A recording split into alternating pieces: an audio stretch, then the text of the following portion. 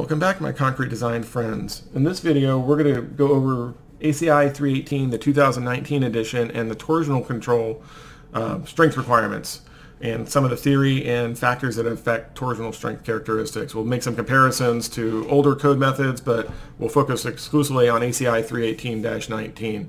So without further ado, let's get started.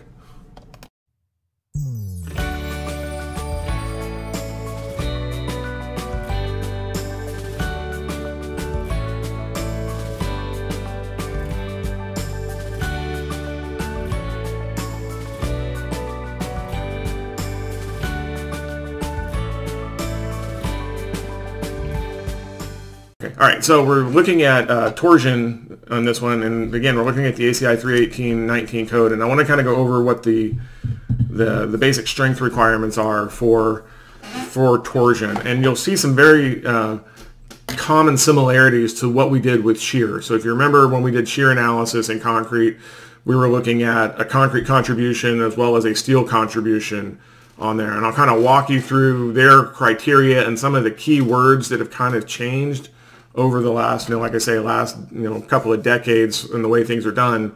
Overall, it's not much different, you know, from, you know, the mid 90s up to now. It's just, there's some terms that have changed.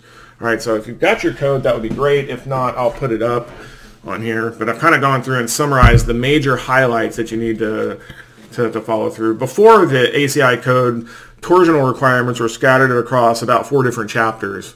Now it's you're scattered across about three, so it's a little bit better, but it's still kind of hard to find the things. They have gone ahead and they have set up a um, they, they, they kind of organize things by strength, okay? And so the majority of what we're looking at for torsion is located in chapter 22 of the requirements. So if I go pull that one up real quick, I think I showed this to you all last time.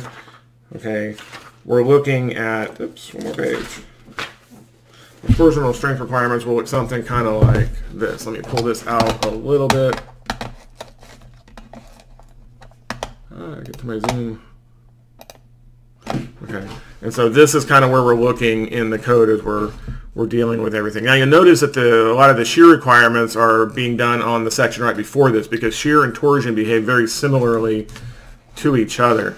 Okay, and so what we're going to do is we're going to kind of run, they, they've condensed it down to three or four pages of, of requirements, so it's not too, really too horrible, but the majority of the information that we're looking at is all going to fall right here okay, down in 22.7.1. Okay, so I'm going to kind of walk you through, and I've kind of summarized and added some notes to what the code is requiring. Now, part of that, whoops, let's hit my camera. Part of that comes from, you know, basic mechanics. Part of it comes from mathematics. Um, need to get that under to get rid of the glare. Finally figured out what the glare was coming from. It's kind of interesting. I have a black desk, and it was reflecting and overexposing the camera, so I could at least get things under control. So anyway, sorry.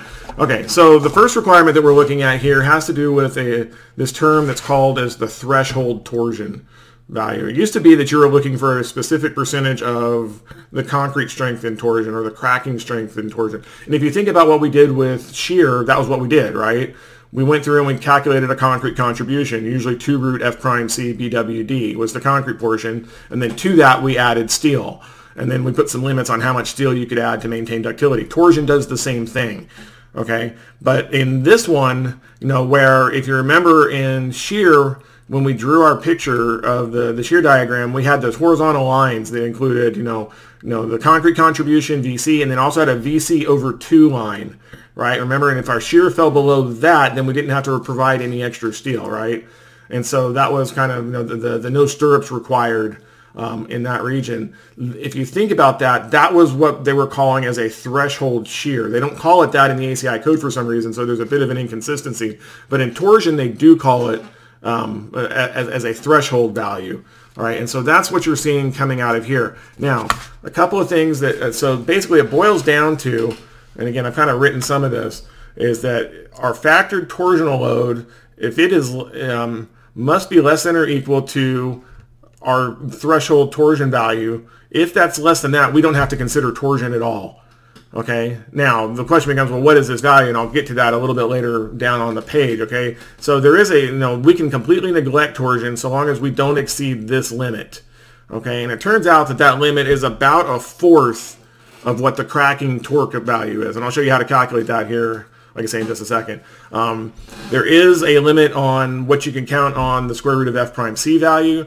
Okay, the f prime c less than or equal to 100 psi. If you look at that number, that means for concrete strengths that are greater than 10,000 psi, the method, um, you're limited. All right, so these ultra high strength concrete values, there just isn't enough research for them to conclusively determine if there's something special going on at those higher strengths. Okay, there is research going on um, in that area, but uh, so so there is a limit on this. Now, for all the problems we're going to see in our class, it's not going to be an issue because F prime C is like 3,000 or 4,000. We're well under that limit. But if you start getting into 15,000, 20,000 psi concrete. You know, some bridge girders are now pushing, you know, 10, 12, 14,000 psi, especially in the pre-stress realm. You start having some issues. Okay, um, there are requirements related to pre-stressing in this methodology. We're not going to talk about those. We're only going to talk about just the regular reinforced sections on there. All right. Okay. So now, if you remember when we were talking about torsion, we talked about two different types. Okay. And so they've basically said the requirements are different for each of the two types. The first one was the equilibrium torsion, right? And if you remember the picture on the next page here, remember those guys, right? The top one is an equilibrium torsion. Basically, the torque that's going into this beam is being caused by just you know, by this canopy on here, and it will apply all of its force into that member, and there's no way for it to redistribute or go somewhere else. Okay, you know, if it cracks or softens, the stiffness softens, it doesn't change the capacity. All of it goes into this. This is equilibrium torsion. The other one was our compatibility torsion, which is, well, the effect, you know, how much this beam feels in torque is in part due to what the stiffness of this beam is, as well as what's going on on the other end of the support. Okay, and so you remember we drew, let's see if I can find those pictures real quick in the last packet. Oh, where'd it go? I lost it. Nope. We drew a diagram that looked something kind of like those, remember? Where we were kind of working on these. And so this was the equilibrium case, cantilever, point load on the end, all of that load goes into the member, whereas here it was a cantilever that was supported on the other end or had some stiffness or something restraining it, that what happens is, is that even though I know the moment value here is zero, if I allow this you know, compatibility, if I crack it at B, then basically that changes the support condition here, and you can actually modify your uh, your your moment diagrams in that member as a result of it. And so, depending on the degree of cracking, you can actually kind of start to alter. You know, well, okay, I can limit, I can reduce the value of the torque here, you know, the stress here, but I've got to account for an increase in the moment capacity as a result of that change. That's kind of what they're talking about on this. And you'll hear this term redistribution used a lot. Okay, so so that's the benefit of this methodology is that I can kind of move load from one spot to the other. So you know, notice if you start here, this line gets smaller, but here it gets bigger. It's moving from here over to here. And that's kind of what we're talking about with the redistribution. And so we kind of outlined that a little bit last time. All right. All right. So so that was the requirement they have. So for the code requirements, then that if it's equilibrium torsion, then absolutely the torsional limit or the applied load, you know, you know, if that load is greater than the cracking stress and torque, you know, then you must design for the full TU. Okay, you can't redistribute or move anything around. Okay, compatibility torsion says, hey, if re redistribution is possible, and we'll talk in future kind of how you know when it is or when it isn't, you may take TU as equal to the cracking torque okay, that I can limit this. And that could be, if you've got redistribution, that could be a great savings in, in you know, in strength, you know, because, you know, may, this might be 25% of what the ultimate is, but if I allow it to redistribute and I account for it somewhere else, maybe it's more efficient to do it in flexure and a bump up the longitudinal steel as a result of that. Okay, now it's not mandatory that you do that, and normally if I'm doing you know, the, the times that I've had to consider torsion, I usually just design for TU straight out and just don't even worry about the redistribution. But you can if you want to do the extra analysis and go to the extra steps. Okay, as a result. All right. So so that's kind of the, the general basics, uh, the basic uh, philosophy of what's going on on this. To, to head off this, just use TU and you'll be good to go. Okay, as, as what you're designing for. And that's the approach that we talked about. Now, here are the two terms that matter in what we're doing. The first one is the threshold torsional value. Okay, for non-pre-stressed beams, this comes out of a table that is on this page, the next page over. Okay, so all of those are coming out of these two tables. Now, if you look at the formulas, I don't see a difference in any of the formulas, whether you're in this table or that table. Okay, and so this is the threshold torsion for a solid cross-section, something that isn't open, you know, that's, uh, and then you have the threshold torsion for the hollow shapes on there. And I guess the, the, I guess I do see the difference. Here it's ACP squared, and here it's a, you know, kind of the, the, the A, I can't even read that line anymore. It should be an A. Is that an A? Wow, my eyesight's really bad today. I believe that's an A naught. Okay, but there, that's the only difference in these two tables is that term right there as we start to kind of look at it. So we're going to kind of work off of, you know, you know, kind of the solid cross-sectional state, and then we're going to come back and we'll kind of play with this A naught squared value here, and kind of, we talked about what those were last time. Okay, so, so that's your threshold torsion. On the bottom of this section is the cracking torque table values. And so if you look at the formula for that versus what we had up here, 4 lambda square root f prime c, and then it's ACP squared over PCP. Okay, so ACP is the perimeters of the concrete um, cross section. It's the gross dimensions. You know, your beam is 12 by 18. ACP is 12 times 18. Okay, versus the A naught H value that we talked about last time, which was the area confined by the stirrups, right? Remember we kind of talked about those differences. So you got to kind of watch your subscripts on those. If you ever get stuck on what a term means, you can jump up to the front of the book, up here kind of around page 26, and they outline every single variable and what it is. And so if I flip all the way back up to the beginning, you can see that you know my ACP definition would be right here. It's the area enclosed by the outside perimeter of concrete cross section.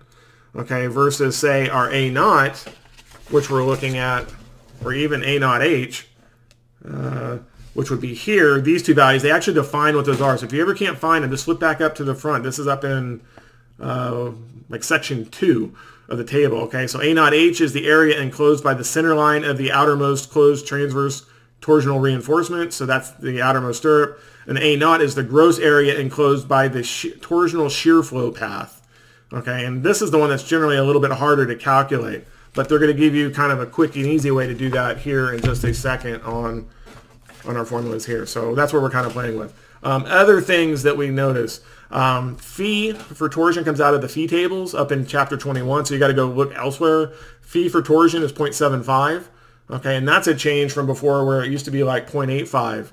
Okay, and so so this is the new value in the in the 19 code. Okay, now if you notice the difference between threshold torsion and cracking torque, what do you notice is the difference? And again, this is for the solid shapes, if you will. The only difference in the formula is that 4 right there. So the cracking torque is actually 4 times the threshold torque. So if you look at what that means, if you go back and consider that I've got to consider torsion when I'm less than, when I, um, you know, if I, um, it can be neglected if I'm less than or equal to the threshold value on here, right? So that's the, basically the same thing as saying that if TU is less than or equal to phi TCR, the cracking torque factor divided by 4, you can neglect torsion. All right, so instead of being like what we saw with direct shear where it was VC over 2 or phi VC over 2, now it's phi TCR over 4. Uh, the way to, could you let me in, please? All right. All right, gotcha. Okay, all right, so, so that's kind of what we're looking at. Now, something interesting is also happening in the cracking torque formula. If you remember when we talked about tensile stresses in concrete, we talked about the modulus of rupture. We talked about the uniform axial. We also talked about this inclined uh, um, diagonal tension of concrete. And for an element that's subjected to shear that looks something kind of like this, okay, I get a crack that comes across this direction, okay, the limit on that stress was always around 4 root f prime c. Okay, well, if you look, there's the 4 root f prime c hiding in there. So it's coming out of the basic mechanics approaches into the concrete strength that you guys learned about back in our regular concrete class. So this 4 root f prime c is a big, uh, is, is, is, a, is a common number that will pop up over and over um, for for torsion and for shear both. And so so that's where this is coming from. Okay, and so then you've got these these perimeter values and the, the gross concrete section values for cracking. Notice that the, the cracking torque takes ACP, which was the, the gross profile area, right? If my if my section is those dimensions, then it's this whole area. Okay, whereas the A naught value, you know, might have a stirrup in here that once you get crack it, now you're only allowed to count the, the inner portion of it. Right? This is my A naught or um, the A naught H value, and this was ACP or the gross area. Does that make sense? You see the difference in the two? Okay, so before cracking, you can count the whole thing. After it cracks, you can only count what's inside the stirrup. You neglect everything else outside of that. You neglect uh, the, the because it's assumed that this this coating outside the stirrups will fall off due to torsion and shear and all the other effects that it will just flake off on there. So we completely discount it on there. All right, so that's kind of where we're going in some of the logic and the stuff that you've seen before. All right. Okay. The next one we talked about, we talked about the equations last time. So the torsional strength itself comes off of two formulas. It's Tn, right? And so the first one was uh, our transverse limit, which was based on the amount of stirrup steel that's being provided or torsional transverse reinforcement. I could calculate a torque value that that section would be able to uh, to handle. And then the longitudinal um, area also limits the torque value. And then instead of AT, I use AL. Okay, notice that there's a theta that runs around in this. That comes back to our truss models that we talked about. Okay, and so some of the terms that you see, this is just basically you know what your steel is and you check both limits and you choose the lower of the two as your torsional value. And that has to be greater than the limit that you're studying. So AT is the area of one leg of a stirrup. AL is the area of the longitudinal torsional reinforcement. This is extra longitudinal steel in addition to anything required for shear, anything required for axial, anything required for moment. It's additional steel. All right, so they call that as A sub L. Okay, pH is the perimeter of the outermost closed stirrup. So if we went back to our picture here, that would be the perimeter around the stirrup here. Okay, so that's your P naught H. And then S is what is considered to be your stirrup spacing. Because a lot of times what we do is we design for shear and we get a stirrup spacing for direct shear and then we set our additional torsional steel using the same spacing parameter. That way we can just increase the bar size instead of having to put a bunch of extra stirrups in, in certain regions. So, so that's what we're looking at there. Um, let's see. Next section is 22.7.6.1. Okay, that has to do with how do you calculate this A naught value. Okay, and so for that, they're going to refer you to another figure. Okay, and again, a lot of this, it's all, it's pretty compact in where it's located. I like that feature of this, of the new code. Okay, and so this is our, you know, we take our definition of A naught H, and so that shaded region, that's the area that is including A naught H. Notice that if you have an opening, you just count the opening as part of A naught H. Okay, so so you don't you don't subtract that off of there. But what the, the code says over in 22.7.6.1 over here says that you can either calculate it by analysis or just take it as 85% of the A naught H value. And most often this is what we do for rectangular and circular shapes. We just go ahead and use that. So that's so that's the limit that's happening here. So 0.85 A naught H or by analysis, A naught H comes from the diagrams that I just showed you. Okay, good so far? All right, the next one then has to do with, well, how do you choose theta? Okay, now you're allowed to take from truss models theta somewhere between 30 and 60 degrees. Those are the limits. If it's a pre-stress section, theta is generally down around 35 degrees. Um, but for non-pre-stress, normally it's taken as theta is equal to 45 degrees. Okay, again, that's that truss model simplification that they use in the ACI code. This is pretty much what you'll want to use is 45 here. You can use anything, but 45 it will work out um, it's the easiest and the most straightforward if you just keep it at 45. Okay, but that's actually spelled out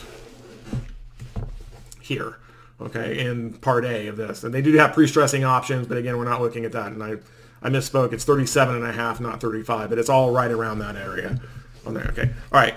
Now, so so that gets us to there. Now, if you remember back in back when we did shear, remember we said Vn was equal to Vc plus Vs, right? And this guy was always 2 root F prime C BWD and this guy was whatever you chose based off of the stirrup area and the stirrup steel that you chose to use, right? But if you remember, there was a limit of VS max. Do you remember what the limit was? 8 root F prime C BWD, right? Okay, and so that was our maximum limit. And if you remember what this was doing, is this was basically saying, hey, we don't want you getting, you know, if you have a real high shear load and a real small cross section where this number is really small, we don't want you getting stupid and just saying, I'm just going to put a ton of steel in this thing and over reinforce it. Okay, so they're, they're, this is a protection for basically the dimensions that you have to have a certain size of dimension for certain values of shear, in you know for certain values of shear. Do you remember doing that? And kind of looking at that limit. And so basically, if we took this as two root f prime c that our that our VN, our dimensional check, we were always looking at 10 root f prime c BWD as being our dimensional check on dimensions to make sure that we weren't using too small of a section for it. Okay, torsion's going to do the same thing. In fact, you're going to see 8 root f prime c start running around again in this. Okay, and that's where this section is. So there are two pieces of this, and again, that's coming out of these requirements here. Okay, that we're looking at the cross-sectional dimensional limits. Okay, for solid sections, you're going to do this inequality, and it's basically, and if you look, it's it looks like it's kind of a confusing you know, a, a, confusing term, but really, if you look at the individual pieces, it makes a lot of sense. All right, so we're going to do the square root of VU over BWD plus TU PH over 1.7 A naught H quantity squared, and then that whole thing squared. Okay, and what this is, if you look at this, I have a shear over a width times a depth. This is kind of an average shear stress calculation. Okay, and this is the average shear stress due to direct shear, V, not T.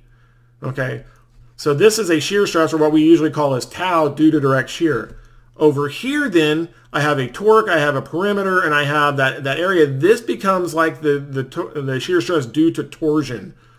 Okay? And if you think of these as vectors, then if I, you know, if I add these two quantities together, I can get the resulting magnitude of the combined shear stress. Because remember, taus from different sources are additive.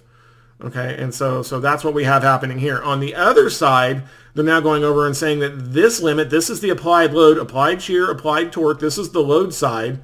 Over here then is the strength side. Okay, and if you look, what do we have? We have phi VC over BWD. That's the average stress in concrete at the point where we consider it to have cracked due to direct shear. Okay, plus, look what just showed up, 8 root F prime C. Okay, this is the limit to make sure that we always have ductile behavior in the steel. Okay, so the only thing that you can control in order to get this limit, if you have very high torques and very high shear loads, the only parameter that you can change is BW and D. Or I guess you can change F prime C if you want as well, but you know, but that's what we're looking at. And so that's why this, you know, you have to have certain B and Ds in order to make this equation work for the solid sections, right? For hollow sections, it's very similar. The formula is a little bit different, but it's the same basic terminology and the same limit on the right side. Okay, so that is kind of like your VS max. This is your VS max term here. Okay, now it's kind of interesting, you know, the other things that you might notice in this is if I go back and I look at my my torsional strength calculations, the, one, the ones that were up here, this was the nominal strength of torsion, right? We had two different equations. What's missing from this term? What doesn't show up anywhere in this calculation? FC. Yeah, F prime C is not in there, right? So what they're saying is, is that the torsional strength of concrete, we're going to completely neglect it. Okay, it's on the torsional strength in a concrete cross section is only attributed to the steel. Okay, the transverse stirrups here and the longitudinals here, right? So if we look at what that kind of means, there is no concrete contribution. Okay, so if we think of this, you know, before we had, you know, Vn was equal to Vs plus Vc, and we were playing that game, of course, phis on it, or whatever the case may be. If we play the same game with torsion, the equation that we saw was only a Ts term. Okay, so in torsion, we're going to neglect the concrete strength of this, you know, because that's what we were getting in that other requirement. Okay, and that should make sense, right? If I claim the concrete strength for the direct shear Vc, then I can't count on it again for the torsional value. Does that make sense? Okay, so so so that's what they've done. It, it implies that the torsional strength of concrete, we're going to neglect it because almost always you have shear present with it. Okay, now I guess if you had a pure shear situation, you could use your engineering judgment.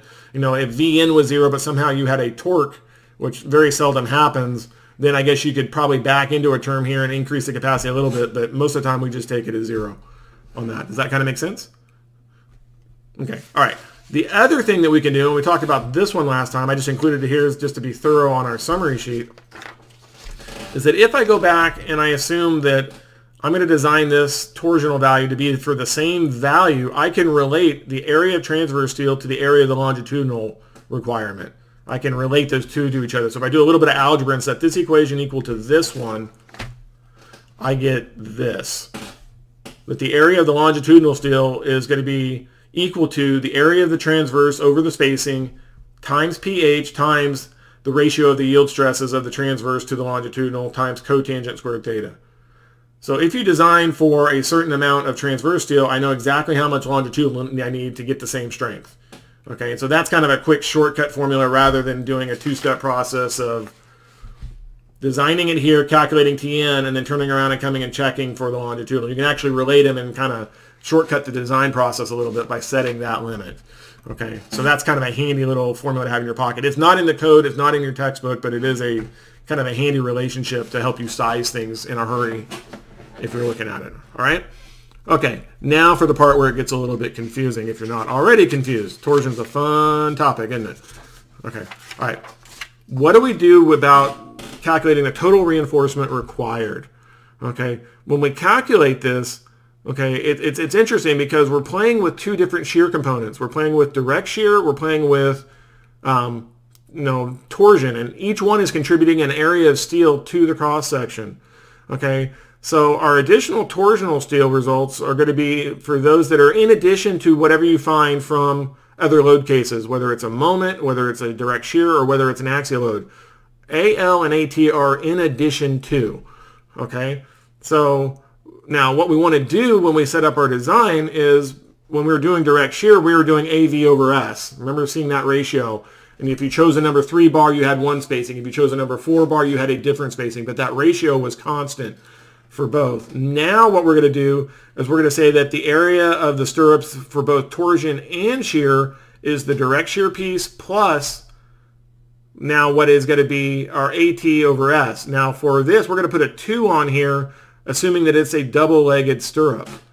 All right, and so that will be the area of steel that you're adding to, to the bar. So the AV is our total shear reinforcement, which is the number of stirrup legs times the area of the bar in, um, in the shear steel Okay, and then AT is the area of a single leg of closed of a closed stirrup. Because remember, the torsional steel, we're only looking at one face at a time.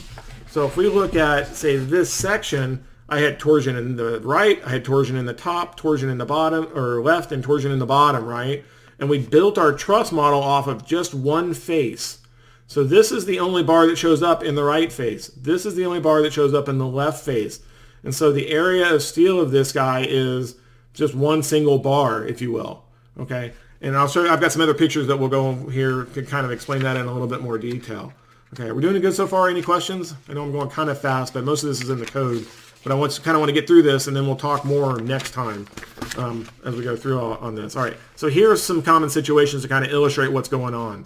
Okay, the common case is you have one stirrup all the way around out of all of the outer bars. Now, you guys know that there are some detailing issues with having four bars in a line. You can only go every three. There are some issues with this, but just kind of in general, the example here is is that this is a double-legged stirrup, okay, for for direct shear. Okay, so we have a two-leg stirrups for shear. Okay, so an AV over S, where AV is the total stirrup area or the area of two legs. Okay, that was how we de defined AV, right? Okay, now take a look at a case where I have a multiple leg situation. For shear, our AV over S required was based on the area of all stirrup legs. So this one would be based off of this leg plus this leg plus this one plus this one. You would have four stirrups, and they're assuming that they're all the same size. Okay, and so this would be the area of four times the area of the bar um, associated with direct shear. You guys with me on that? And again, so you have to kind of know what the reinforcing looks like in the cross section as you start to try to figure this out. Okay, for torsion, one bar leg. For torsion in this one, one bar leg. These guys in the middle are doing nothing for torsion. Okay? Now we might need it for direct shear, but so that's why we want to make sure this outer one is picking up enough strength for our torsional for our torsional limit. So if I put them together for shear plus torsion, only the outer legs are effective. Okay, really only one leg. So you can size the outer legs then by taking a uh, for shear plus torsion over S. That number is going to be the sum of AV over S, where the AV is the area of two or four legs from our pictures, okay, or six or however many legs you have plus then 2AT over S because that torsional stirrup, this was my AT value, but it was actually two of them because it was one bar and it went so, goes over and it adds to the other side. Okay, and so that's how, so this one stirrup had two legs, but our strength calc was only for one of them. So that's kind of a kind of a subtle point. Does that make sense? Let's see what's kind of happening there?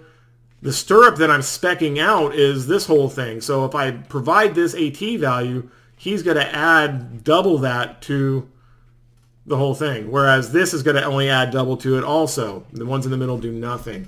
So I want to kind of kind of kind of provide that. And again, the last little thing to remind you all of is is that additional reinforcing may be necessary, you know, to provide the any additional shear capacity, you know, whether it's AV or or direct shear or whatever the case may be.